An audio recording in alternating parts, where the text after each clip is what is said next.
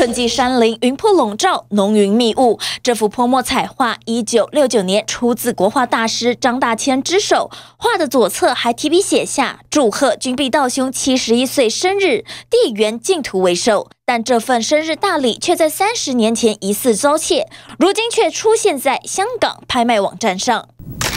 一幅又一幅的经典画作刊登拍卖网，而这幅张大千的《春山云瀑》被列为亚洲重要私人收藏，市值将近一点五亿台币。十月七号就要被拍卖，黄君璧的小女儿发现后，赶紧跨海报案。对于我父亲跟我们家来讲，他是应该是无价的，因为他之间的一个很深厚的友谊。国画大师张大千一九六九年赠画祝寿，没想到一九九零年时疑似遭窃，事隔三十年后登上拍卖网，后代报警处理，让这幅画成功从原本的秋拍预展下架。但眼看拍卖日期将近，家属好心急。说偷完这张，我父亲更是难过到。